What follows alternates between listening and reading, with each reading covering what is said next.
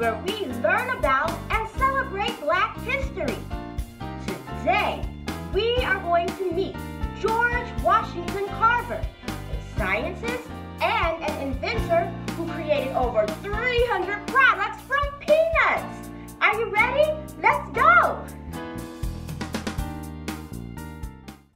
This is George Washington Carver.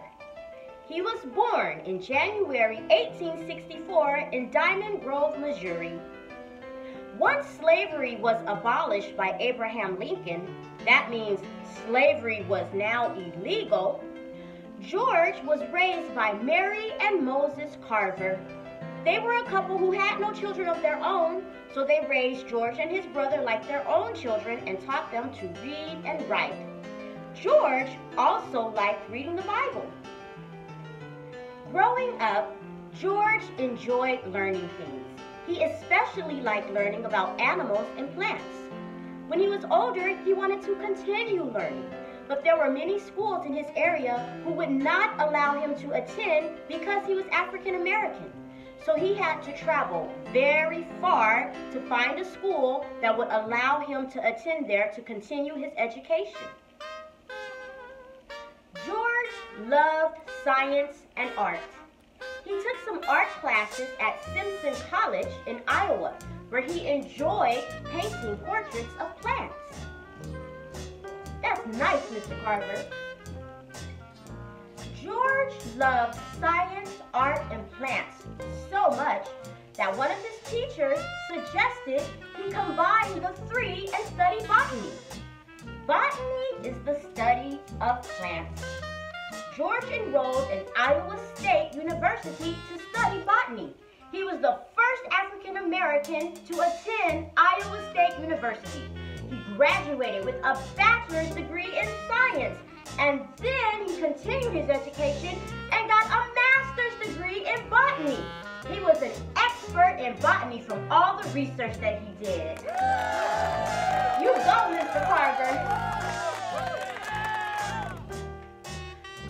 Washington Carver also did many things with peanuts. In fact, he was so good with peanuts that people called him the Peanut Man.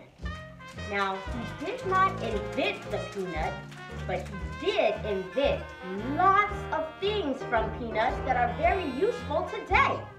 We're going to take a look at his lab right now. Come on. George Washington Carver was an inventor and a scientist. That means he spent lots of time in the lab working on his discoveries. He developed over 300 uses just for the peanut. And he's going to tell us what some of those things are right now.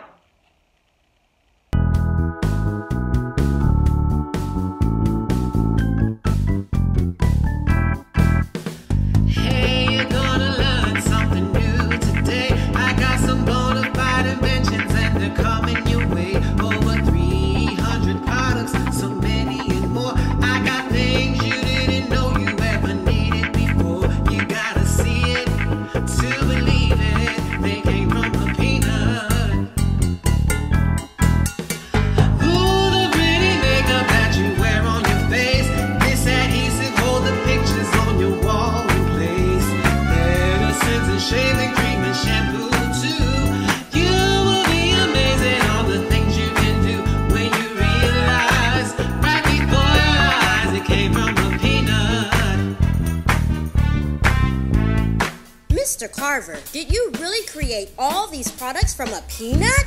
I most certainly did. Milk, plastic, paint, dyes, medicine, soap, ink, and wood stains. I also created over 118 products from sweet potato, like molasses, glue, flour, vinegar, rubber, gasoline, and more. But most of my products came from peanuts. That's why they call me the Peanut Man. I'm the Peanut Man.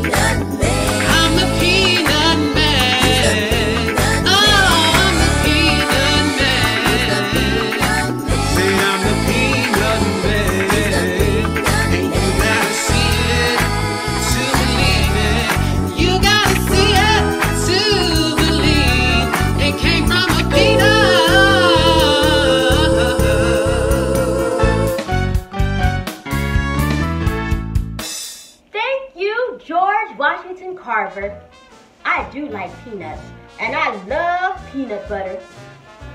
Now, Dr. Carver did not invent peanut butter. He just made it really popular. He shared his knowledge with everyone he knew, and thousands of lives were changed for the better because of it. He didn't ask for any money from his inventions because he genuinely wanted to help people. And today, the world is so much better because of George Washington Carver and his inventions. Dr. Carver died on January 5th, 1943.